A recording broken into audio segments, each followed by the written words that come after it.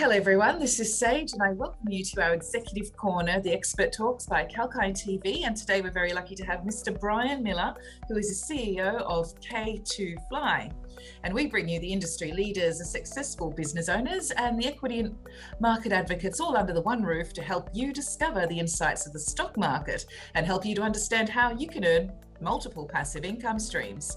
So today's show has Mr. Brian Miller, the CEO of K2 Fly. And to give you some interesting background about the company, K2 Fly, the name is derived from the name of the world's second largest mountain, which some would call the most challenging to climb in the world. And it is their company pursuit to help companies navigate challenges faced with the ESG through their enterprise SaaS product. So, welcome, Brian. Thank you for joining us from sunny Perth, WA, I believe. Yeah, that's correct, Sage. Very happy to be here. Thank you. Well, with your wealth of knowledge from the IT industry, I'm sure the viewers are keen to hear your insights. So let's get started. Um, firstly, congratulations on winning the first contract of full mining technical assurance suite from Roy Hill.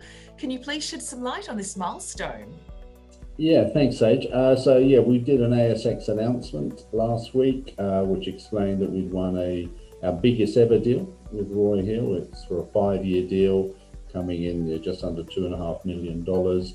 It's a software as a service deal, so in effect they're renting the software, uh, and it's to do with a Sativa acquisition that we made a few months ago at the end of 2020. Sativa was a, a really good tech firm, which we were able to acquire, and they have some presence already in Roy Hill, a public presence, but with some investment into their product and with some presenting of their product in in various ways. We've managed to convince the leadership in Roy Hill that this is a long-term program. Uh, it's got good stickiness about it, which means it'll be there all that time. Uh, and I, I, believe, without sharing confidences, um, that Roy Hill are very happy with what they have acquired and what they see the outcome as being over time. Obviously, it, it takes a few months to implement these systems, but I think there are some very exciting developments going to happen around Roy Hill, and clearly we're very keen on partnering uh, with a firm who have such a fantastic reputation. So we're very happy with it. Excellent news. Thank you for shedding a little bit more light on that subject. And the company is in recent uh, release said that the demand for mining technical assurance suite is growing across the tier one miners globally. Is this a reflection of the buoyant commodity market or is there more to it in your opinion? Yeah, it's a bit of both, Sage. Good question. Uh, so there's no doubt that because the iron ore prices in particular are pretty buoyant, gold would be another one, those firms are taking the opportunity to invest in technology. As ever, people are interested in almost having, um, if, if they could, if they could wave a magic wand, they would like to have uh, mines where there are fewer and fewer human beings out there working for all sorts of reasons, not least of which would be health and safety, but uh, also the economics of the situation. So there is something of that going on. Those big companies who are having a very good period at the moment do have some cash to free up to make those investments. But I think it is also around this general area of ESG that you pointed out environment, social, and governance, where almost everybody is now on their A game in terms of saying, hey, we've got to do even better here. And there are some resources firms who've done a fabulous job in the last few years in improving that. But I think this technical assurance is coming to the fore. So I think it's the, the dual situation of yes, there is some money around at the moment to make investments, but there also is that acknowledgement that the the obligations and the requirements you know, can be dealt with at this particular time. So lucky for us, lucky for K2 Fly, really. Absolutely. Complying with the government's ESG requirements is so important. And if you're streamlining that and helping companies to achieve that without any delays, can only see benefits for all involved. Absolutely.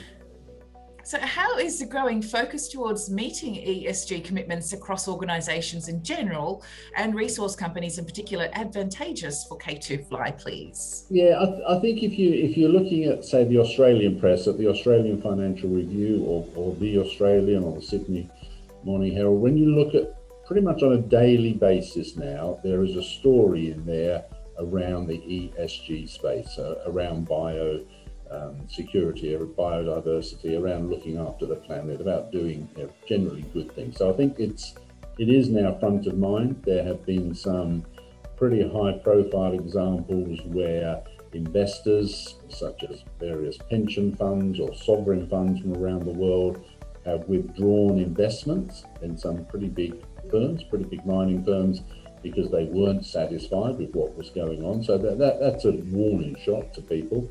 And I think it's just acknowledged now that um, as far as everyone's concerned in the resources game, um, there is a reputation which is sometimes pretty unfairly placed on them, um, but there is a reputation out there, and most of these organisations now are, are clearly acknowledged that they're going to do better. Some of them are doing a pretty good job anyway, but they're going to do even better. So there are things like the ICMM, the uh, International Council of Mining and Metals, uh, who have recently come out with some new suggestions, and that will become a standard in relation to how mining firms deal with tailings and dams. There have been one or two disasters where people have lost lives. Um, it is a huge, clearly a huge issue in terms of the social responsibility, the social license to operate. So ICMM, which is made up of some of the biggest miners in the world, they're now kind of setting the standard and saying, hey guys, we've got to meet this, at least meet this standard. And that's very good because that in that suggests that those type of clients need people like K2Fly who have so-called commercial off-the-shelf or COTS solutions. And the COTS solutions are the fastest way to implement those new standards and to deliver uh, the outcomes which not only do the investors want, which is really important, but also, should we say, their neighbours want, you know, people in the vicinity of these uh, resource facilities are pretty keen on making sure that's all being done to a really good standard. Absolutely. I can see how the current climate would put K2Fly's products in demand at the moment. And a, a, case comes to mind the Shell Oil Company has just been held up by a court in The Hague for not complying to the Paris Climate Agreement, I believe. So you got it in one exactly. That's and that's the sort of high profile event or story. I mean, there is a little bit in terms of the, the sometimes there's a difference between the truth and the messaging, and some there is a little bit of a grey area there. But it's absolutely front of mind for people at the, working at the C-suite in these big organisations or the non-executive directors, thinking, "Wow, we've got to be really good at this. We've got to be able to prove that we're doing the right thing," um, and that that's not always easy. No, not at all. However, congratulations as well on the news about Fortescue Metals Group uh, extending their contract for the Infoscope land management software. Yeah. Uh, and uh, please, so, so, yeah, in relation to that one, just as, as sorry to interrupt Sage, but um, Infoscope um, has been in uh, FMG now for several years. It, mm. it, it was the anchor client. Uh, what's happened here, what the, story behind the story is that FMG have now taken that solution to some of their South American assets and the European assets. So they, it's a further sort of indication, I guess, that our solution, our COTS solution, as I said, um, is fit for purpose, and they're now rolling it out to any um, such assets they have, all bodies they have around the world. We have some other clients who use the same solution, um, for instance, and they will be taking our software from little old Perth to all around the world um, and using it because it's, it's a proven technology. Fantastic news. So please elucidate on the pipeline of projects for the calendar year 2021. Yeah, it's uh, clearly we, we have to be mindful of, of ASX rules and regulations. I'm not here to be right. making forecasts or anything, but people who would have followed our press releases in recent months would have seen we're involved in some paid pilot studies, and the idea of a paid pilot study, you would assume, is that the client will ultimately say, yeah, this has worked. So they will take it on to be a full software as a service contract. So people who've seen the announcements would know that we're doing a paid pilot study in Vale, which seems to be going well. We're doing a paid pilot study in BHP, for instance, that seems to be going well. And there are one or two others. So clearly, part of the idea of doing a paid pilot study is you want to convert them to be full on clients.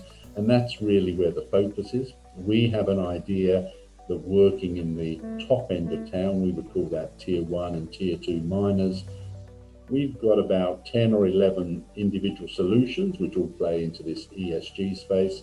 And the idea is to get in there, do a good job, be seen as someone who's credible, who delivers, and then obviously try to expand our role by possibly selling another one of those solutions or a different module within a solution.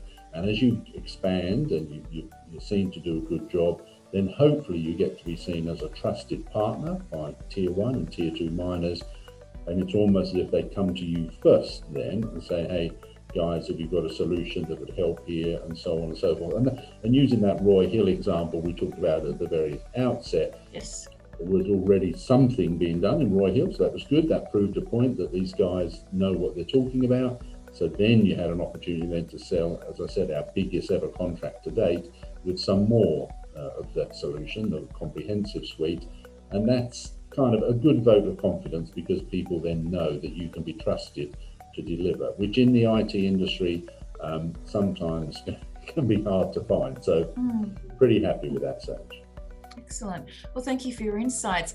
And uh, I believe the growth strategy has been working quite well, as you mentioned, with the Sativa uh, extension there. And um, Decipher as well was another acquisition that you um, had earlier in the year or perhaps last year. So this year has been remarkable for K2Fly in terms of acquisitions and adding new clients. How is integration going so far? If you could elaborate on that. Yeah, good question, Sage. It is always tricky. So we took um, Sativa came under our wing at the end of um, 2020. Uh, Decipher was more recent, uh, February 2021. Right. And what you do is you're bringing in teams of people, it might be 10 or 12 colleagues. Um, they have been used to working with another company, um, so that's you know, that's fine, that's true. And then we have to uh, integrate as quickly as we can. And we have a, a, process called One K2 Fly, which is about getting people to work in the same way and all understanding what they're doing. But the fabulous thing about doing those acquisitions is not alone do they have technology, which is really good, that's fantastic, they have a presence because they already have some clients. Often they're the same clients that we already have, but sometimes they're slightly different. But what you bring is a lot of talented individuals with you, typically with, a, subject matter experts or technical expertise. You bring those in and you gradually build up the capability within K2 Fly, which then it becomes a virtuous circle, which then allows you to come up with new and better offerings, better offerings, that will allow you then to win more working clients, mm. recruit more staff, and, and so on and so forth. But it is interesting. So the, the folks in Sativa came from a relatively small company, uh, let's say 10 uh, employees. They also had some offshore capability. They used some software developers who were offshore. But then Decipher, by comparison, were part of the Wesfarmers group. Wesfarmers is a huge uh, company in Australia, so they were part of a team within a massive company. And obviously, then to come and join K2 Fly would, would be quite different. But we work pretty hard in terms of integrating people and making sure they understand that there is the K2 Fly way. Um, and so far, Sage, pretty good, pretty happy with that.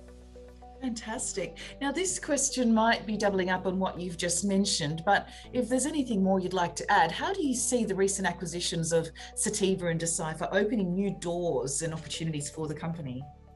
Yeah, well, I mean, let's let's stick with Decipher just as a, okay. for instance. So Decipher uh, was a unit within Wesfarmers, and Wesfarmers or the, the organisation had invested quite heavily in developing a product which is Decipher for mining. So that, that's what it was, Decipher for resources. So somebody else had already invested that money, which is fantastic. We then had to buy them. Obviously, that, that's that's a fair trade. That's how it works but they are real specialists in this tailings and dam space, which has, I would say, in the last 18 months, has has grown and has gone up the escalator to almost be the number one issue uh, for miners in this ESG space. People are very concerned about it, and certainly people like the Church of England Pension Fund, who withdrew money from a couple of mining firms last year did so because they didn't like the strategy, they didn't like the systems that those organisations had in place to be able to confirm that things would be good and safe and proper and appropriate. So by taking something like the Decipher offering and then trying to deploy that across our clients. We've got some 20 odd clients. We've got a lot of interest, um, and, I, and, I, think hopefully in the not too distant future there'll be some good announcements coming out as to how some other people are looking at that Decipher solution and saying, wow, that's really good stuff. It starts at map first, it's very geographical, and then goes into the solution of that. Uh, it looks fantastic. It's got a really good track record. We've already made some sales since we acquired them in February. Evolution Mining would be an example. We're doing this paid pilot in BHP, but they already had clients such as Rio and South 32 and other organizations. So by taking on those new solutions, possibly investing a little bit more in them to slightly tweak them, slightly uh, improve them, uh, you then find yourself in a very good position to mm. sell those solutions into your existing clients and indeed come up with new prospective clients. So yeah, pretty pleased with that, Sage. Absolutely. Well, as the economy scales to be more green conscious and in the commodity super cycle that we're in, I think the sky could be the limit for K2 Fly at the moment. so, what are the company's key areas of focus in 2021, please? Yeah, it's a good point. So, well, clearly, the financial year 2021 is, is going to finish in the next three or four weeks. For the 21 22 year, um, yeah, it's very much about growth. Um, we believe because of various pieces of legislation around the world, including that ICMM I mentioned, but also the New York Stock Exchange, some changing some of its rules in terms of the level of detail it wants to go into, and other various things that are happening at, at that macro level. Uh, the requirement for solutions uh, created to cope with specific situations has never been greater. We will be increasing our number of business development people. We will be increasing our focus, uh, just not just within Australia. This is in North America, South America, Europe, and Asia. Uh, and at the same time, um, we will always be on the look for appropriate acquisitions. We will be looking out to see if there's something adjacent to what we do. You'll never see K2 Fly going off and buying um, some retail banking software or something like that, but that's not our space. It's typically going to be in the asset intensive arenas around resources, and it will be very much playing on ESG and being able to work with everybody uh, to ensure there's better sustainability and transparency at the same time, which is which is a really good space for us. Absolutely. So we have to wind up now. It would be great to talk more about your projects, but would it be possible for you to clear something up for me before we finish up? I sometimes get confused in your ASX announcements when you talk about ARR and TCV invoices raised and turnover. What do you track as the key indicators and why, please? Yeah, no, it's a good point, Sage. And it is a bit different in the tech spaces, as, some of your listeners and viewers would be aware. Um, accounting standards change from time to time. So some people move some of the goalposts on us. So what we'd like to do, hopefully, so that people understand what we're looking at, we call ARR or annual recurring revenue. That's the total uh, dollar value we can charge for our software as a service license fees. So we're up above three million now. We obviously hope that to go to four, five, six, whatever in the future. So that that's a figure which you kind of know if you did no other new business for a given year, that's the absolute minimum that will come minimum that will come through the door. That's the ARR. So as an example, let's say we're on approximately three and a half million dollars as an ARR at the moment. Probably our wages bill in K2 Fly is probably around four million, maybe four and a half million dollars a year. So it, it doesn't quite cover it. So, but you kind of know that you know, if, if you didn't do any new business, you've mainly got that covered for the ARR. So that's that's a really good number. And to us, arguably, that's our most important number as a software as a service company. TCV stands for total contract value. So as with that Roy Hill announcement recently, that was a five-year deal. So you multiply five against that software value that I was talking about, five times the ARR. Plus, there's also some implementation effort where you have some consultancy so it wouldn't just be five times the dollar value of the license, it might also be another 100K or 200K added because you have to implement or configure the system. So we're very keen on looking at ARR and TCV, and typically our TCV number will be three or four times greater than our ARR. But as anyone who follows the accounting standards will know, really, the end of the financial year, you have to report on the revenues. And the revenues, based on the new accounting procedures, will be the amount of money you can say, yes, we, we have earned in this given year. And then slightly different from that uh, is a figure which is to do with invoices raised, which in the old days, invoices raised probably did equal revenue. It's slightly different now because we've just raised an invoice as per the ASX announcement to Roy Hill for you know, some software, but it's all to do with how much of that can actually be recognised in this calendar year as opposed to the next calendar year. So it does get a bit confusing, but in terms of what we're concentrating on all the time, it's that annual recurring revenue figure, which is the software licenses we have. Because our software is very sticky and it stays in that client for a long time, that's a good sign that we know we're heading in the right direction.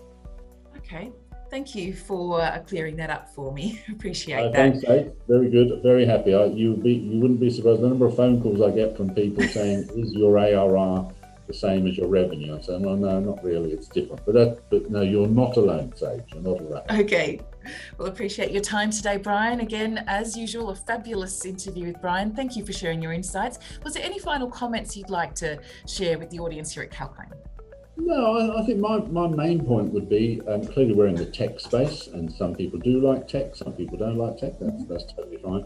The difference I would suggest is because we are this software as a service form of tech, we are selling recurring revenues into tier one and tier two mining companies. So if it's almost like if you want to have a bet each way, you're in the tech space, but because of SaaS, it's not that risky, it already exists but you're also playing in the mining game. So those people who are servicing the mining and resources clients, I would suggest are in a very good spot. Great. Well, thank you again for your valuable insights, Brian. No and problem. that was a fabulous show with Mr. Brian Miller, the CEO of K2 Fly. And please head to their website for any further information. And as we say here at Kalkine, stay apprised and invest wise. Thank you.